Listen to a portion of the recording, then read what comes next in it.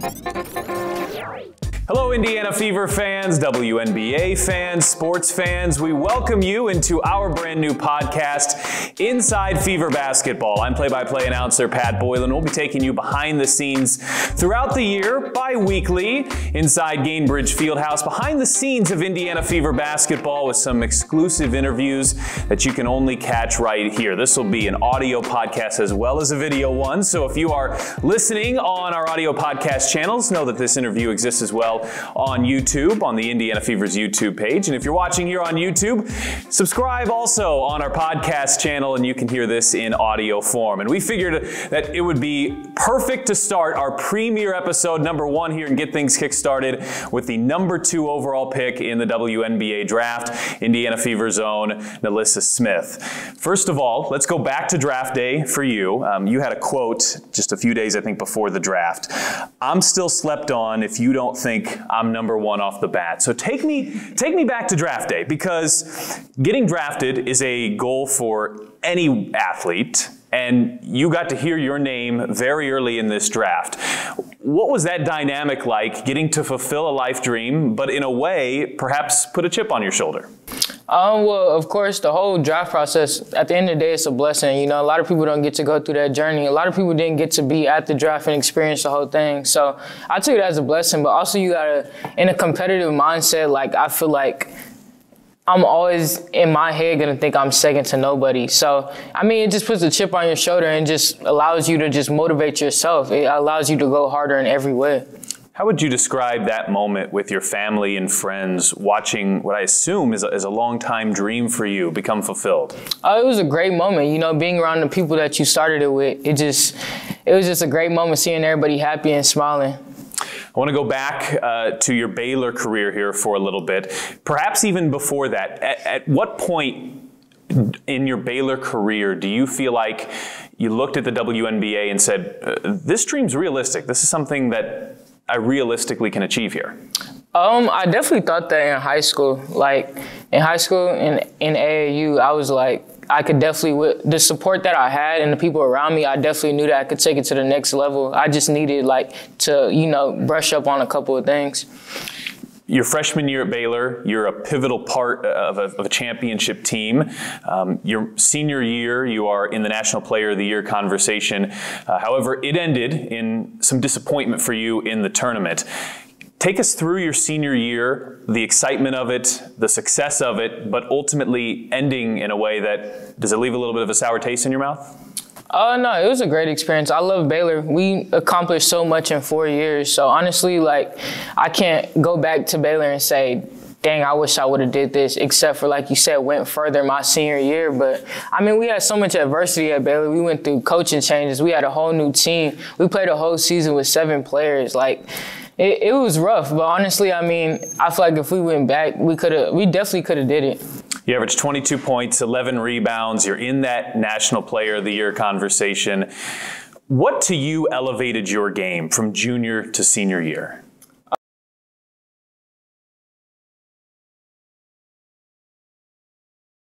18 and 8 my junior year, I knew I had to take it up a notch because we're playing the same teams in conference over and over again. So, of course, they're going to scout you differently.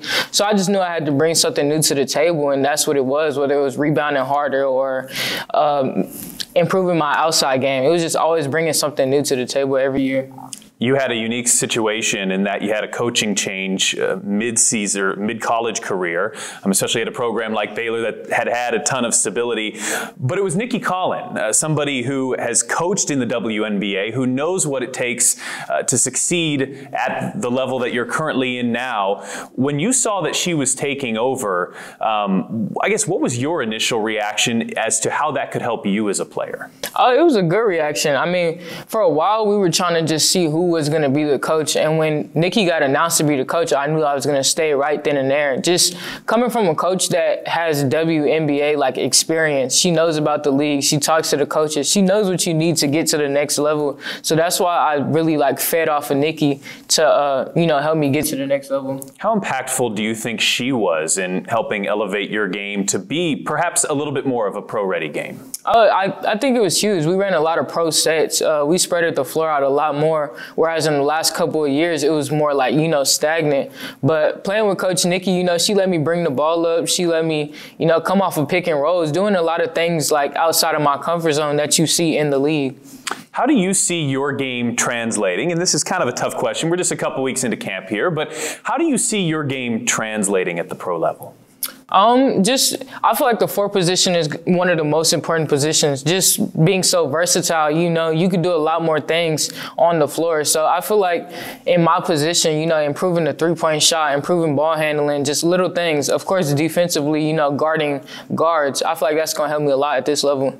The three point shot is also something that you started to add more and more to your repertoire as your college career went on. You took 27 three pointers in your first three years, you took 35 uh, in your senior year. How much is that part of your game going forward? How much of it still is a work in progress for you? I mean, I'm working on it every day. I mean, I have amazing coaching staff that's helping me stay in the gym, you know, shooting 100 threes a day or after every practice where I can improve that. Do you feel like that was kind of the next step for your game was maybe stepping a few feet out and, and knocking down that three-point shot just at the collegiate level? Oh yeah, absolutely. I feel like once I get the three consistently, I'm going to be a lot harder to guard whenever somebody talks to you, whenever you do a story, whenever you do an interview, a, a, couple of things that really stand out to me. You seem extremely hardworking, and it seems like you constantly are able to find a chip on your shoulder, something that motivates you. Where does that come from? just the will to win, honestly. Like I feel like a lot of times, like in my life, I've you know been counted out. So you know, just always wanting to you know take my game to the next level. Always wanting to be you know recognized as like you said that player that works hard, that player that wants to be on top. So just you know never com- becoming complacent. Like I always just want to you know be at the top. Is, has that always been natural for you? Has that been a skill that you've developed, that kind of hardworking mindset? Yeah, I feel like when you're competitive, it just naturally comes. Just, you know, when you want to win, that competitiveness is always going to be right there with you with that chip on your shoulder. A quote that you had that really stuck out to me is you said, anytime you lose, you've got to focus on the film. You've got to watch it over and over. You've got to eat it up. You don't always hear players talk about wanting to watch film, and yet that seems like not only something you want to do, but something that's vital as it relates to you as a player. Um, what about film kind of helps shape you, and, and why is that so important to you? Um, honestly, I love watching film just because, you know, like as a basketball player, when you do a move, it's always going to be stuck in the back of your head when you miss like that shot, whether, whether it was like, oh, I should have drove on that play. I should have just shot this, or I, I could have made something different out of that play. So when you go back and watch that game film and it's like, you know how to create off of that off of that bucket now, it helps you so much the next game because now you see how people are going to play you. So now I could change up how I'm going to like score off of that. So that's why I watch film so much. This is, of course, a Indiana Fever team that's a part of a bigger Pacers sports and entertainment franchise. And the Pacers just went through a lot of changes in this last year. And one of them was bringing in a player like Tyrese Halliburton. Do you know much, if at all, about Tyrese yet? I don't know. Because he tweeted about you. That's why I asked. And, and did you did you see his tweet? No, he tweeted on draft night, uh, Tyrese Halliburton said, uh, This is a great pick. NaLyssa's tough. Excited to watch her with the Indiana Fever. So I guess what, is it, what does it mean to you? you? You get a lot of accolades, but when it comes from um, somebody in the NBA, somebody who's on the Pacers, who's going to be sharing facilities like this with you? Oh, that's huge. I mean, I really wish I would have seen it. I definitely would have showed love back because, I mean, that's what it's about. It's about a culture. So, you know, when the men's team is supporting you and the women's team, it just builds, you know, a culture in this, like, environment, and that helps so much. He talked about Tyrese wanting to come to games and, and wanting to watch uh, the WNBA, and, and you, as even just in a couple of weeks into the WNBA, uh, players, you're such pioneers for the game. Like it's something that I think just comes naturally to so many of you to help grow the game at this level. Um, what does it mean to you to, to see somebody like Tyrese that uh, sees how entertaining, how enjoyable this game is, and that wants to be along uh, for the ride with you guys? Oh, that's huge. Like, it's super big for us. You know, any support is great support. So, especially coming from someone with such a big name and big foundation, it's going to help grow this league so much more. It stands to reason that this three or four week stretch that you're in the midst of, uh, when you're looking back at all this one day, it, it, might be the craziest of your life, craziest of your career. I mean, you go from NCAA tournament to the draft process to flying to a, a city you didn't know you'd be in uh, previously, and now you're a couple weeks into camp. How would you describe all of this, this whirlwind of the last few weeks? Honestly, a blessing. Like I, I would have never pictured, you know, like two, three weeks ago, actually, that like I would have flew to New York for the draft. Then one day after I'd be in Indiana. Like it's just it happens so fast that when like you go to sleep at night, you can finally like just breathe a little bit, and it's like, dang, I'm really in the WNBA because like you know it's it's so fast. Like you don't even get to like really recognize like, dang, this really happened. So it's finally hitting me like I'm really in the WNBA. It's funny you bring up sleep. I was going to ask you, can you get ample sleep during all this time, just with the amount of movement you have, but also the excitement, I would imagine as well? Uh, nah, I, well, I personally definitely get my sleep. Whenever I got time, I'm sleep. so take me through camp so far. Has it met your expectations? What's it been like? Oh, camp has been extremely fun. Just so many different personalities, so much, you know, just like joy. Like I met the coaching staff, and it's just like it's like a family environment. Like I'm talking to assistants every day. I'm talking to the head coach all the time. Like it's just constant communication that like some people didn't get in college. So, you know, when you come to the WNBA, you wouldn't think that you're going to get like so much, you know, like love and support. And it's just been great here. Your head coach, Marianne Stanley, will be inducted here very soon into the Naismith Memorial Basketball Hall of Fame. Lin Dunn is in the Hall of Fame. You look up in the rafters, somebody who really helped make this franchise what it is, Tamika Catchings, is in the Hall of Fame. Um, I know you've only been here for a couple of weeks, but what's it like to have that sort of high level expertise around you here as you get your WNBA career started? Um, it's great. You're surrounded by so many leaders, so you could always just go to a sideline and get great advice from somebody. So just having so many great people around, you're not missing out on no advice. You mentioned the family type of atmosphere. How would you describe Marianne Stanley as a coach, and and how you you've gone from three different coaches here in only a little over a year? How's that transition gone for you? Um, it's been great for me. She was very welcoming. Like as soon as I came in, she you know introduced herself and we talked about, you know, our plans for this year. Like many people aren't approachable like that. So for her to, you know, come to me and just, you know, just talk, like it, it just takes a chip off your shoulder. Like you can just relax because it's like you got people that care about you here. You went to Baylor, one of the premier basketball programs in the country. Uh, things like facilities are, are top notch at, a program like that. When you come here uh, into the WNBA and you've had some time to be around, well, a facility like this one, but for those who can't see off camera, there are all sorts of film rooms and a, and a brand new locker room and a WNBA only practice court. And you've been working out at a second facility uh, as well with the team. What are your initial impressions of the facility, the area around here that you'll call home, you'll call your job? Um, it's a great area. Like I said, it's so many resources here. Like you said, a nice film room, great locker room, like weight room is great. The court, it's just, it's a great environment. And like you said, coming from Baylor, I mean, that's a great environment too. So it's just always leveling up. It's been great. You haven't necessarily had the chance, I'm sure, to see, you know, any other WNBA franchises, but um, what, what we hear around here is this is, you know, as good as it is in the WNBA. Uh, how important is that type of thing for somebody like you who's still growing mentally, physically, who's still developing uh, as a player, as a person? Um, it's great. I mean, just to always have, like I said, the resources around here where I could walk across the street and just, you know, go lift weights or go get shots up. I mean, it's great. It's going to help my game grow a lot. You were the number two pick, but with you are numerous other rookies who were drafted. Uh, four first round draft picks, the first time that's ever happened in WNBA history. Another uh, pick at number 20 in Destanni Henderson, who I think a lot of people thought was going in the first round. So take me through uh, what it's been like to be a rookie with such a big rookie class like this one they make it a lot easier, honestly. You know, you're around so many people that are trying to learn just like you, and we're all in the same boat where we're trying to learn and, you know, just take our game to the next level. So, you know, you have people to lean on that are in the same situation as you. How would you describe the camaraderie, the relationship, the chemistry between you and the other rookies? Uh, I describe it as good. You know, we all talk about practice. We all go talk about how we still trying to finish school. Like we're all in the same boat. Like we could all relate to each other. I think one thing that really stood out to me about the draft this year is just the different skill sets that are brought in. I mean, yours, uh, the number two pick, it's it's obvious, but you have uh, Emily Engstler, who is you know a defensive stalwart and, and, a, and a good shooter, and then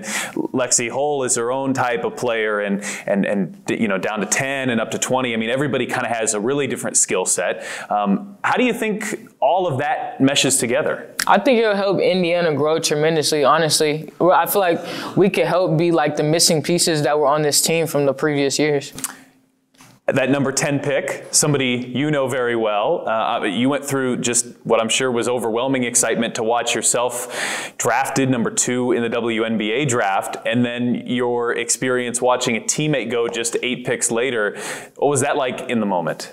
Oh, I didn't even know she had came to Indiana. And we were in media because I had to go through media after all the uh, like the picks and stuff. So when they had told me, I was just like, "What are the odds like that happens?" It was just so crazy how we ended up on the same team. What was your relationship with Queen at, at Baylor, and how helpful is that to have somebody that you know well along for the ride here from the get go? Um, it's good. Like I said, you always have someone that you can relate to, someone you could talk to all the time. So I've known Queen for a while as you go through training camp here, I mean, what's it been like with you and with her and, and kind of going through practices at the next level? I mean, do you, do you ever sometimes kind of look at each other and go, you know, wow, we're here, we're doing this, uh, but at the next level?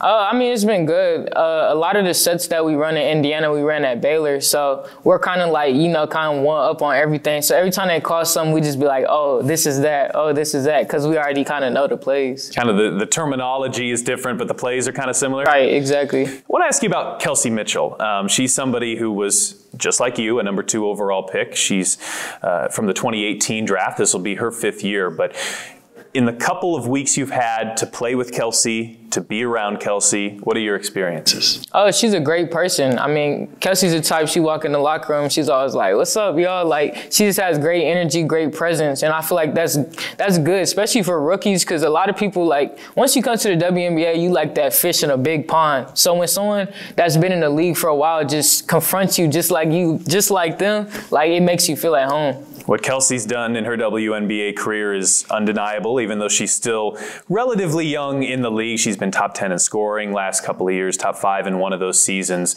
Um, but sometimes I think she has struggled with just how much defenses can focus on her, how much attention she gets night in and night out. Do you feel like that's something that you can help with, be another kind of dynamic playmaker on offense, take some pressure off Kelsey, and maybe that allows Kelsey to elevate her own game? Absolutely. I feel like once I get established on this team and they establish roles and uh, people can start showcasing their talent, it's going to take a lot of the pressure off of Kelsey where she has someone she could pass to and like someone she can count on to score the ball instead of having double teams or hard pressure the whole game. And then likewise for you, you know, what's it going to be like on the floor knowing you've got a dynamic guard like her that you can run pick and roll with, you can run pick and pop with. I mean, how do you see your games meshing? Oh, I see it great. We should be a good, a great one-two combo. You know, like I hit her on the drift, she hits me on the roll. Like I just feel like we gonna mesh well together. Have you set goals for your rookie season yet? Uh, rookie of the year. Rookie of the year, straight up. That's it. Yep. What's it going to take for you to get there? It's gonna take, you know, me to play hard, you know, stay true to myself, we do what I do best, not come in the league and just try to change everything up. So I feel like I should be able to accomplish that. Do you feel coming into an environment like this, a franchise that is building, um, that this is kind of the perfect scenario for somebody like you? I mean, you're very likely, I don't want to speak for Marianne Stanley, who might just be around the corner, but you're very likely going to get some serious playing time here right off the bat. I mean, do you feel like that scenario is, is one that's kind of perfect for you? Oh yeah, absolutely. Any way that I could help a team, you know, win more games than they did last year just by like quality minutes and scoring and defense, then I definitely want to do that.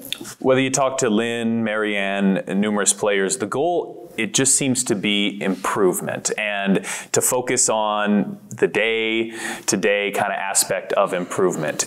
Is that how you see it? Is there a tangible goal for you as a team, or is it simply when we're talking at the end of the year, you undoubtedly want to be better than you were when we're talking now. Absolutely. I feel like team goals, personally, I feel like do better than you did last year or do better than you did yesterday. It's always just leveling up as you continue playing. And then personally, it's just bringing something new to the to Indiana, just helping this team, you know, like I said, improve every single year. We've heard Marianne Lin talk about your versatility. They feel like you could play some five, play some three.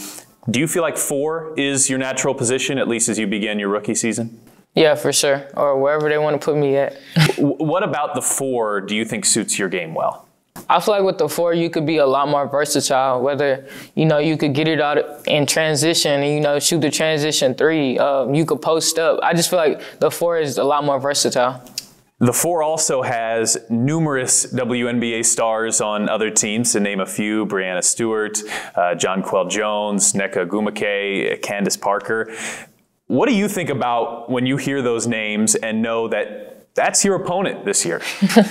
I mean, those are the greatest players, and you know, it, it took them something to get there. So, I mean, you, they had to start somewhere, just like I did. You know, they had to guard some of the best players when, when they were in the league. So, I mean, you got to start somewhere. Uh, we're gonna see how it goes the first couple of games. Did you grow up looking to uh, up to any of those players? I mean, some of them are younger, but uh, Candace Parker's been in the league for most of your life. Yeah. Candace Parker is my favorite player, and now my favorite player is Breanna Stewart. So we're gonna see how those games go.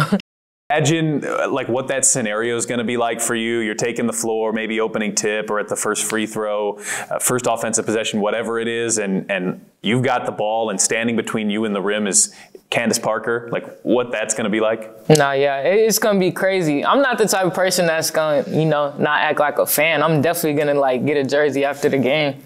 but like it sounds like your personality, just your mindset, though. Um, you're going to get a jersey after the game, maybe a little bit of a fan, but like on the floor, that's just another opponent. Is that kind of how you view it? Oh, absolutely. We both trying to win the same game, so you know we could we could talk after the game, but you know during the 40 minutes, you know you got to play. We talked a little bit about your three-point shot earlier. When you imagine your career 10 years from now, how big of a part is the three-point shot? Do you imagine to you? Um, I feel like it'll be huge. I'm not gonna let it overshadow the rest of my game, but I feel like adding that to my game is just gonna free up a lot more space for everybody else. Do you think that for you to reach your ultimate potential, that that'll have to be a significant part of your game? The three and on-ball defense for sure. You're coming into a franchise, as we talked about, that's struggled the last couple of years in terms of wins on the floor. You're the number two pick. I mean, you're immediately getting the attention. You're a first guest here on the podcast. Do you feel any pressure? Nah, I, honestly, I don't really feel pressure. I just have so much confidence in myself as a basketball player that, like, if I compete, I feel like I can hang with anybody. Like, I'm gonna put the work in, of course, you know, just to, you know, get the product out. Like, this is a team game, and you know nobody's sitting here suggesting that the future of the Fever franchise is solely reliant on you. But that said, um, it does seem like three, four, five years down the road, um, your level of contribution here is going to play a massive role in how much success the Fever have. You said that you don't really feel a whole lot of pressure, but do you feel excitement, um, intrigue to know that you know that much is on you, and, and that's what the franchise views you as?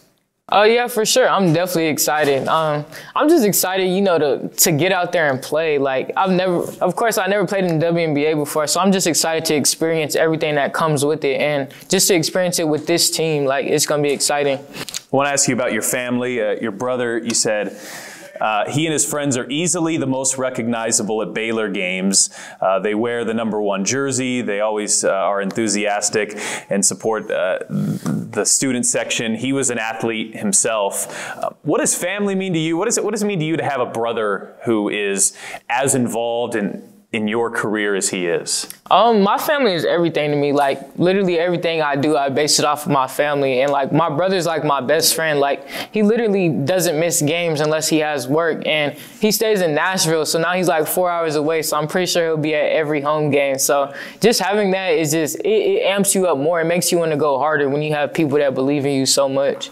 When did you see that your dad had hit the half court shot? um, I saw that at halftime. We was coming out from halftime, and everybody was showing me the video. I'm like, of course, like just of course. What was your conversation like with your dad after the game? Uh, you know, I don't want to say he stole the spotlight from you, but like for one game, he might have stole the spotlight from you. Uh, nah, I, I love that moment for him. My dad, like he he feed like my family feeds off of competitiveness. So when I heard they got the opportunity to do the little shooting and stuff, I was like, I know he's gonna make it. So like we'll be in the car and I just hear him rewatching the video all the time. Like he just loves it. How much do you think your competitive nature comes from him? Oh, it comes from my whole family. Like we can go bowling and we gonna start arguing because we're so competitive. Like we can play Uno. Like we're just we're a competitive family, and I really feel like that's what really like made me who I am today. Is just how competitive my whole family is. Is there a Thanksgiving family football game? And if so, I imagine that that would be maybe something that not all of us would want to be a part of. yeah, we used to always play basketball in the front yard, so it's definitely like my whole family is competitive. Was watching an interview with you recently, and you shared that painting has become a recent hobby of yours. How did that come to be? Quarantine. I was so bored in quarantine. Like they used to like in my neighborhood where I'm from, they used to put like little lids on the rims, so you couldn't even go outside and shoot. So, like I don't know. I just saw the little paint by number, and I had started painting, and it took up most of my time, which I actually like, because rather than just sitting on the couch bored, I was like painting stuff. So it was cool. What were you painting? Um, I started with like like landscape stuff, and then I, I painted like a, a African American painting. I just finished that one.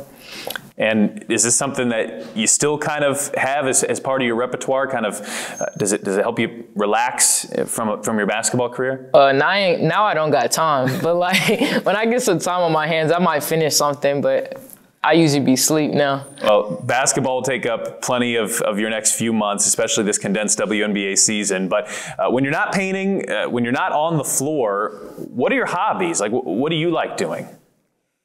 Um, I like to cook. I like to just, I talk to my family a lot. Uh, I like to go bowling too. Like, I'm starting to get a lot better at bowling. So, and I'll be on the PS5, and that's it. What do you play on the PS5? I'm starting to get better at 2K and I play Call of Duty. Okay. Uh, how cool has it been for you to see the WNBA featured in, in some of these basketball games? You talk about growing the league. I mean, that's a big one there. You know how many kids and, and, and adults play play 2K. Nah, yeah, I'm hyped. I finally get to get my little face scan. I get to, I'm about to play with my player for sure the whole time. I'm amp them up. What do you think your rating should be? 99. so when you look at it if, it, if it's anything 99, out of the 99, are you going to start having issues? Yeah, I'm going to have to tweet at Ronnie2K. I think you can go into like the settings and just kind of fix yourself and make yourself a 99. Um, let's close with this. This season will be a success for you from a personal perspective or a team perspective if what happens? If we all collectively have the same goal and that's to win, you know, you got to sacrifice individual goals for team goals, and that's the only way that we're going to win this season. How do you feel like that mindset um, will help the team? I feel like it'll be huge. Like if everybody puts to the side, like once they score, looking at the scoreboard rather than just you know get back on defense, get a stop, keep running it up. Then we just we gonna keep running it up. We are gonna start winning a lot more games. You've got the preseason coming up. You'll have uh, your season opener on the road in DC. Your first home game is going to be May 8th, uh, not too far from where we are right now here at Gainbridge Fieldhouse. You've played in sold out arenas and in massive games in your career numerous times. But what do you think it's going to be like the first time you're taking the floor as a member of the Indiana Fever with the Fever fans, many of them watching and listening here, cheering you on? Uh, hopefully it's going to be a great experience. I heard this is a basketball state, so I just want to see everybody, you know, come out and support. Like we're going to have a great year this year. Well, NaLyssa, we very much appreciate the time. You have a ton on your plate here in these first couple of weeks, and we appreciate you making time for us. Best of luck here as camp continues underway and as you get into your rookie season. Thank you. All right, that'll wrap up the first episode of Inside Fever Basketball. Be out on the lookout for episodes bi-weekly, every couple of weeks or so, both on our YouTube channel and on our podcast channel channel. First episode is in the books with NaLyssa Smith. I'm Pat Boylan, and we will talk to you soon on Inside Fever Basketball.